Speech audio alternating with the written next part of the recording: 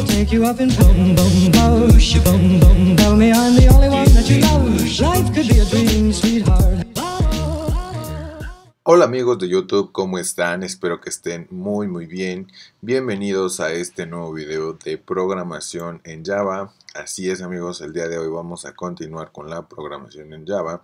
Y bueno, en el video anterior lo que hicimos fue realizar la búsqueda secuencial de un número dentro de un arreglo.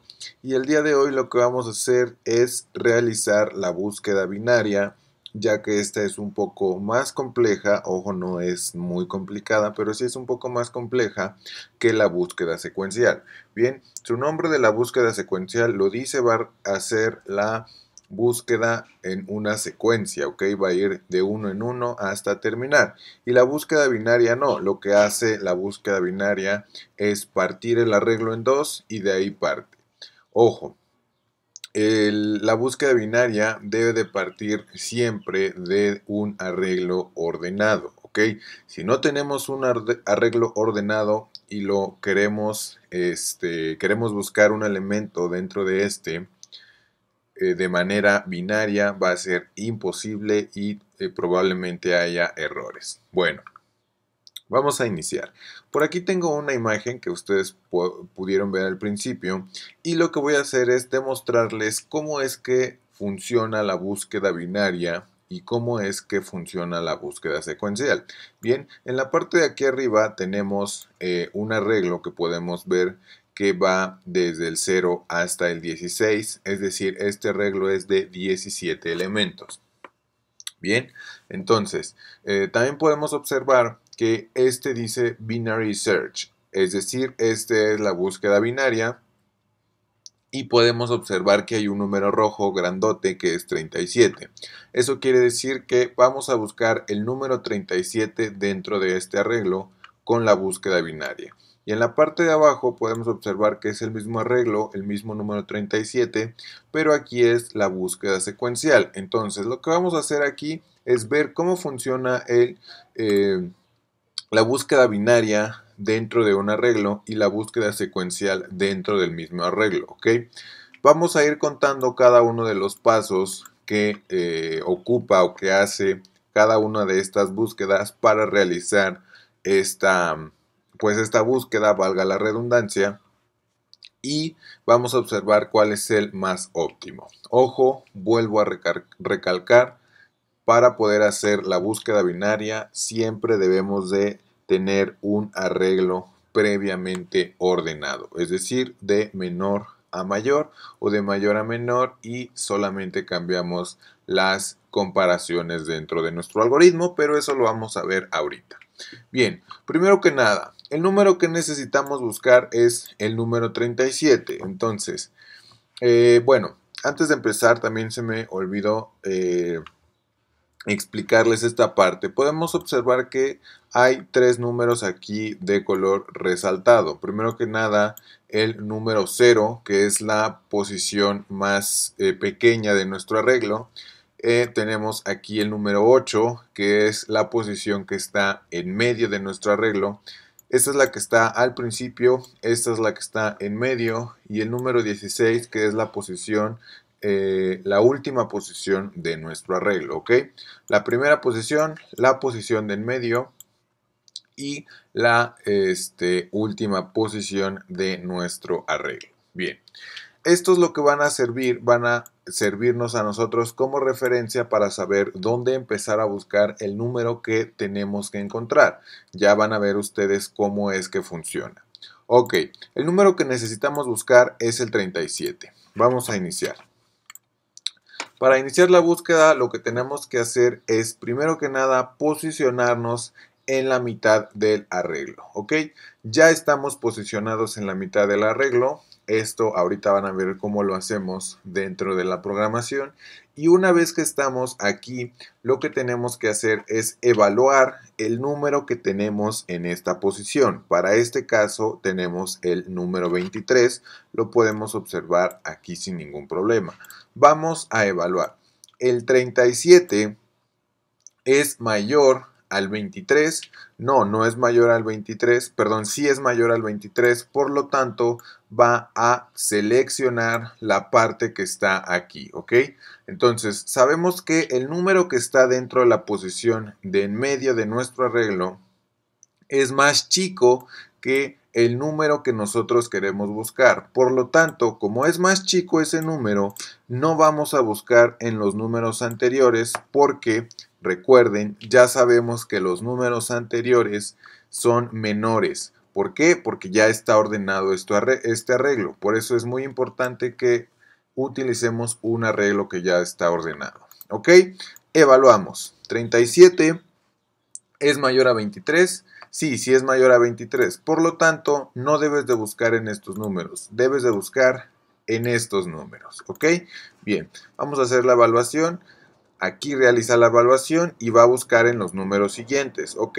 Una vez que ya tiene seleccionados solo los números siguientes, va a posicionar otra vez como si tuviéramos un nuevo arreglo. ¿Ok? va a posicionar nuestras variables de principio, de en medio y de fin. ¿Ok? Bueno, una vez que está hecho esto, otra vez nos posicionamos en la mitad de nuestro nuevo arreglo, por así decirlo, y evaluamos otra vez, ¿ok? El 37, que es el que tenemos que aquí, aquí es mayor a 41, que es el que tenemos dentro de nuestro arreglo, no, no es mayor, por lo tanto no voy a buscar en estos números, ¿ok? Porque son números mayores. Lo que voy a hacer es buscar en los números anteriores.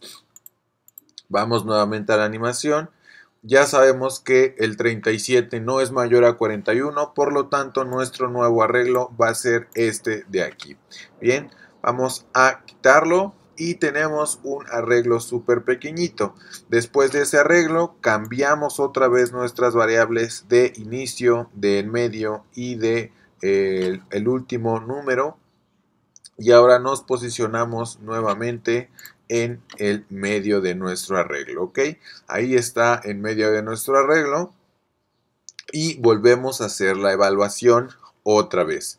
31 es mayor a 37, sí, 31 sí es mayor a 37, por lo tanto vamos a buscar en los números siguientes, no vamos a buscar en los anteriores ya que todos los anteriores son menores. Bien, vamos a eliminar esos números y nos quedamos con un solo número. Ahora vamos a evaluar. 37 es igual a 37, ¿sí? 37 es igual a 37, por lo tanto hemos encontrado nuestro número. ¿Ok? Y ustedes pueden ir observando en la parte de abajo que la búsqueda secuencial sigue todavía haciendo su búsqueda. En, lo que nosotros eh, dentro de la búsqueda binaria hicimos tres pasos para encontrar nuestro número. En la búsqueda secuencial todavía lo sigue buscando, ¿ok? Lleva ocho pasos y aún no lo encuentra. Nueve pasos, 10 pasos y lo ha encontrado, ¿ok? 11 pasos para poder encontrar el mismo número que nosotros dentro de la búsqueda binaria. Bien, aquí vienen dos cosas. Eh, la búsqueda binaria y la búsqueda secuencial son eh, algoritmos que sirven para un mismo fin, pero tienen pros y contras. Primero que nada, la búsqueda binaria necesita sí o sí un arreglo ordenado para poder encontrar el eh, número que nosotros deseamos y cuando nosotros le damos un arreglo ordenado, lo va a encontrar mucho más rápido que si hacemos una búsqueda secuencial. En el caso de la búsqueda secuencial, no es necesario un arreglo ordenado, podemos darle un arreglo súper desordenado y va a encontrar nuestro número sí o sí, ya que recorre todas y cada una de las posiciones del arreglo, aunque He de decirles que sí, pueden observar aquí que la búsqueda secuencial es más tardada que la búsqueda binaria. ¿Ok? Bien, pues eso es lo que vamos a hacer el día de hoy amigos. Vamos a realizar lo que es la búsqueda binaria. Tenemos aquí nosotros este, ya todo lo que necesitamos, que es primero que nada nuestro objeto escáner. Eh, solicitamos el tamaño de un arreglo, un arreglo cualquiera. A ese arreglo le definimos el tamaño. Después vamos a insertar todos los elementos a ese arreglo por la consola. Vamos a mostrar nuestro arreglo y después vamos a realizar nuestra búsqueda binaria. ¿Ok? Por lo tanto, lo que voy a hacer es esta búsqueda secuencial, la voy a comentar para que no me dé ningún problema y la voy a dejar hasta abajo. Bien, voy a poner un arreglo de este, en este caso, de la siguiente manera, que sea desde el número 1 hasta el número 10, ¿ok? Perfecto, ahí lo tenemos. En la posición 0 vamos a tener 1, en la posición 1, 2, en la posición 2 vamos a tener un 3 y así sucesivamente hasta llegar al 10. Bien, eh, lo que queremos nosotros es encontrar el número 8, por ejemplo. Bien, nosotros aquí podemos observar que el número 8 va a estar en la posición 7. Entonces, para esto vamos a decirle aquí que necesitamos buscar el número 8. Primero que nada, necesitamos una variable de nuestro arreglo, ya que está lleno, que es esta variable que vamos a llenar eh, con este ciclo y la vamos a utilizar ahorita. Bien, después de eso, en la animación podemos ver que necesitamos tres variables, ¿ok? Una variable que va, va a ser la variable que nos va a este, permitir obtener la posición principal entonces, esta variable va a ser la posición inferior. Bien, esta la vamos a igualar a 0 porque va a ser la variable que va a estar hasta la izquierda de nuestro arreglo. Ok. Después necesitamos una variable que esté siempre al centro de nuestro arreglo. Esta variable la voy a dejar por ahora sí, ya que ahorita vamos a ver cómo es que la vamos a eh, asignar. Y por último, necesitamos una variable que va a ser la variable superior, que esta es la variable que nos va a servir para asignar la posición final de nuestro arreglo. Bien, esta variable, ¿qué es lo que le vamos a asignar? Pues le vamos a asignar al principio de nuestra búsqueda la última posición de nuestro arreglo. ¿Esto cómo lo hacemos? Vamos a decirle que va a ser igual a tamaño menos 1. ¿Ok? Esto para asignarle, recuerden, la posición final de nuestro arreglo. En este caso, la posición 9. Bueno, ya tenemos aquí las variables que vamos a utilizar dentro de nuestro arreglo, perdón, dentro de nuestra búsqueda binaria. Vamos a iniciar con eh, la codificación del algoritmo. ¿Cómo lo hacemos? Bueno, vamos a utilizar un ciclo while. Ahorita van a ver porque es que utilizamos un ciclo while. Primero que nada, lo que vamos a evaluar para que esté realizando todas las iteraciones y podamos encontrar nuestro número es evaluar si la variable que tenemos en nuestra posición inferior es menor o igual a la superior. ¿Ok? Esto que queremos decir que cuando estas dos sean iguales, pues ya no haga ninguna iteración ya que hemos llegado a la posición que deseamos encontrar. Si no es así, si inferior todavía sigue siendo menor o igual a superior, necesitamos que siga realizando las iteraciones. Bien, una vez que nosotros sabemos que la variable inferior es menor o igual a superior, necesitamos asignar el centro. Bien, el centro, ¿cómo lo asignamos? Súper fácil. Vamos a sumar la variable superior más la variable inferior y todo esto lo vamos a dividir entre 2. Bien, es así como obtenemos el medio, súper sencillo. Sumamos perdón, la variable eh, o la posición más alta, la posición más a la derecha de nuestro arreglo con la posición más atrás de nuestro arreglo y lo dividimos entre dos. Esto nos va a devolver un entero, a veces nos va a devolver un entero con decimal, pero como nuestra variable de centro es entero, solamente va a tomar el valor entero y se va a quedar en esa posición. Bien, una vez que tenemos ya nuestro centro definido, vamos a iniciar con la evaluación de este, de estos valores para poder compararla con nuestro número buscado. Primero que nada, vamos a evaluar si la eh, variable que estamos buscando es igual a la que tenemos en el centro, ¿ok? Entonces vamos a decirle que si arreglo de centro, es decir, si el número que está al centro de nuestro arreglo es igual al número buscado, ya no tenemos que hacer absolutamente nada. Lo único que tenemos que hacer es mostrar un mensaje que diga el número buscado está en la posición y vamos a darle la posición de centro, ¿ok?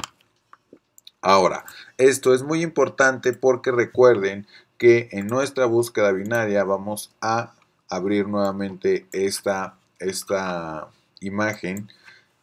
Nosotros realizamos la búsqueda binaria siempre, siempre, siempre en el centro, ¿ok? Lo primero que evaluamos es el centro. Ahí estamos evaluando el 37 con el 23, entonces todo el tiempo vamos a estar utilizando la evaluación de nuestra variable del centro. Una vez que determinamos que no es igual a ese número, obtenemos otro mini arreglo y de ahí nos dirigimos a dónde? Al centro, ¿ok? Una vez que nos dirigimos al centro, evaluamos si es esa variable igual, no es igual, obtenemos otro mini arreglo, nos dirigimos otra vez al centro y así sucesivamente, ¿ok? Ustedes pueden observar que siempre estamos evaluando el centro. Entonces, este if que tenemos aquí es el que hace toda la magia. Ahora, lo único que tenemos que hacer es que cuando esto no sea igual, que recorra todas nuestras posiciones y nos dé nuestro eh, mini arreglo. ¿Cómo hacemos este mini arreglo? Pues bien sencillo. Vamos a decir que si no es esa posición, pues recorre nuestras variables. ¿Cómo las recorremos? Bueno, número buscado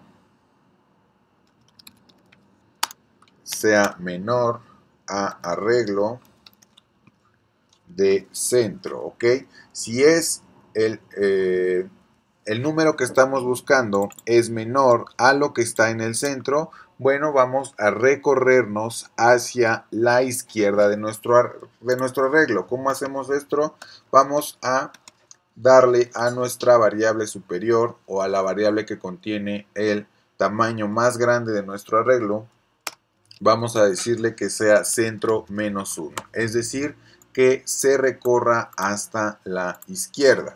Y por el contrario, nuestra variable inferior, vamos a decirle que sea centro más 1.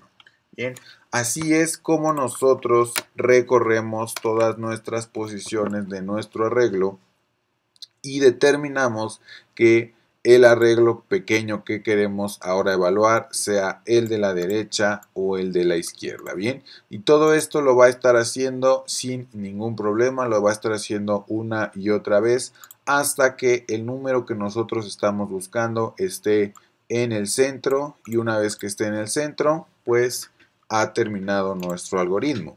Bien, aquí hay un problema ya que si yo dejo esto de esta manera, va a realizar las iteraciones un millón de veces y se va a quedar ciclada aquí, no va a terminar.